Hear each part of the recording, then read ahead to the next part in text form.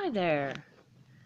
This is number three of my few first videos that I'm doing for all these surprise bag openings, Kinder eggs, and finding new use for old toys.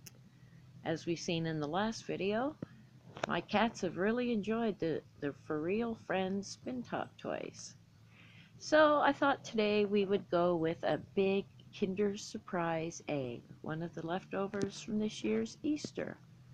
Now I hope it all turns out the way I hope, and I get the one I'm looking for.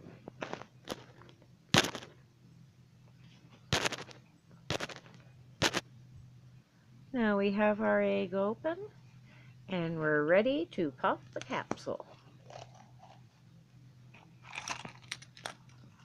Ooh, and what do we have in here? It looks like we have a Hello Kitty Magic Kinder Special Set. Wow! That is awesome! You'll have to give me a moment while I assemble this and we'll be right back.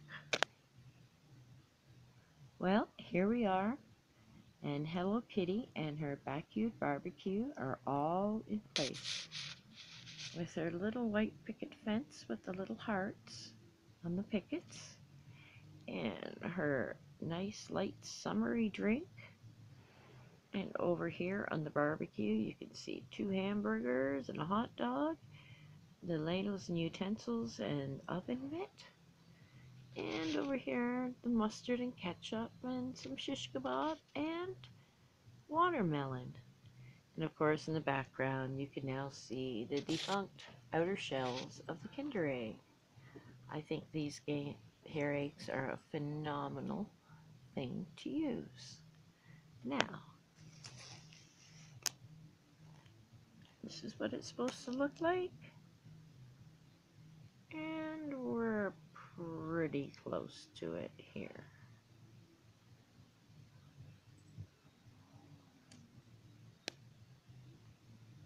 Hi, back again. Now here's the fully assembled Hello Kitty Kinder Egg Special.